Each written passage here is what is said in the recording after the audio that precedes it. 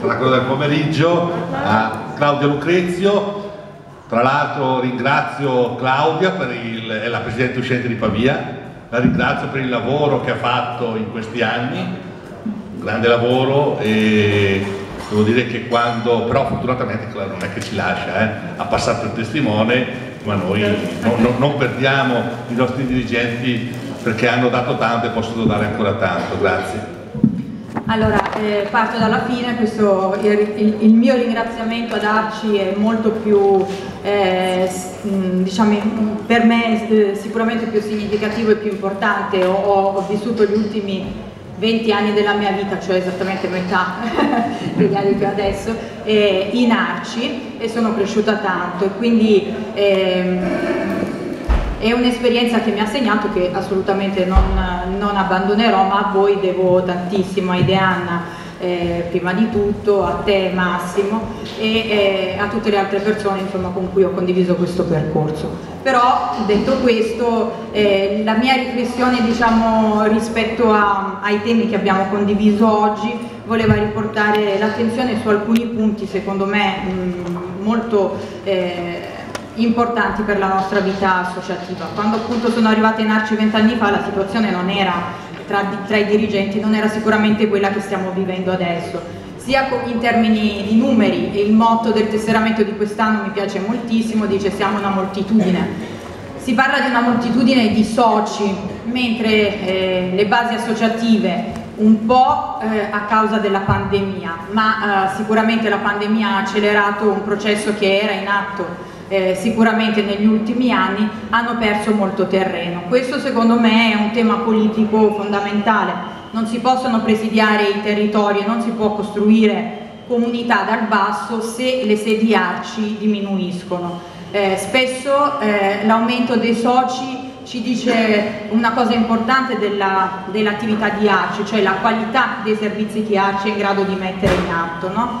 Eh, sia dal punto di vista culturale ma anche dal punto di vista sociale. Però eh, uno degli aspetti fondamentali di Arci era la capillarità, la capacità di raggiungere tutti i territori, anche più lontani. Noi abbiamo un circolo, noi abbiamo circoli sulle colline, vabbè.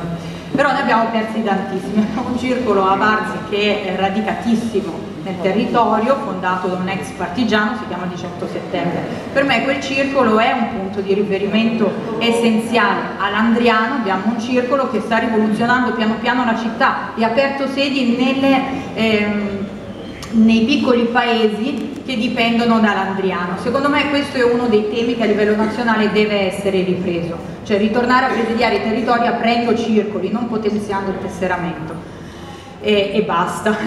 Poi eh, un altro aspetto che per me è fondamentale, oggi nei vari interventi che si sono susseguiti eh, abbiamo sentito tanto parlare ovviamente per la contingenza del momento eh, di ritornare a fare politica e di riportare le persone, il famoso 40%, eh, a, ad appassionarsi alla politica. Del, una delle frasi che mi è rimasta particolarmente impressa è eh, l'astensionismo e l'allontanarsi dalla politica attiva eh, provoca disperazione, la disperazione provoca disagi enormi. No? Eh, però io mi chiedo, l'ACI è un luogo di partecipazione politica e penso che questo aspetto nella sua indipendenza sia di idee, quindi anche di progettazione politica, debba essere preservato. No? Noi siamo un'associazione grossissima che spesso viene tirata da una parte e dall'altra e invece l'aspetto di, di, di indipendenza e quindi anche di coraggio di prendere delle scelte contrarie forse anche a, uh, ad alcuni nostri eh, alleati politici a seconda dei, dei, dei periodi, noi eh, questo dobbiamo tenercelo come caro e eh, non ci può essere nessun tipo di progettazione politica che non parta dall'educazione, questo che mi conosce lo sa, è il mio, il mio tema eh, di fondo più importante.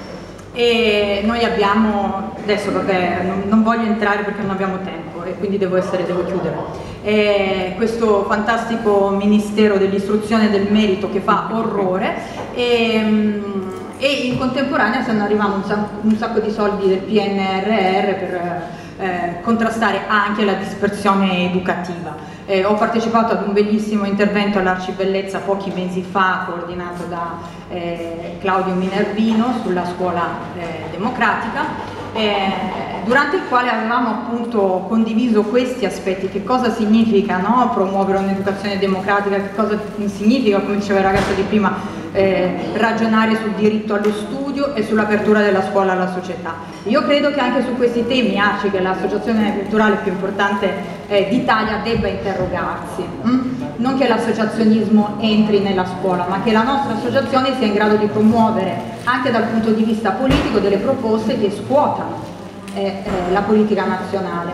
E poi effettivamente sull'odiosissima per esempio eh, legge di alternanza scuola-lavoro è contestata e contestabile da più punti di vista, ehm, su cui anche noi come Arcipavia abbiamo preso tante volte tante posizioni, insomma, riuscire a formulare delle ipotesi che mettano l'associazionismo, il terzo settore in grado di dialogare con l'istituzione scolastica, sia in termini di proposta culturale che c'è propria, ma anche in termini di spazi dedicati alla promozione del diritto allo studio, alla crescita, alla formazione permanente, che sono effettivamente aspetti che nelle nostre città o mancano del tutto oppure sono presidiati quasi esclusivamente dagli oratori. Ecco, queste sono solo alcune delle suggestioni, sono temi che a me sono cari e che mi sento di poter condividere in questo luogo che mi è particolarmente caro, quindi eh, vi ringrazio tutti.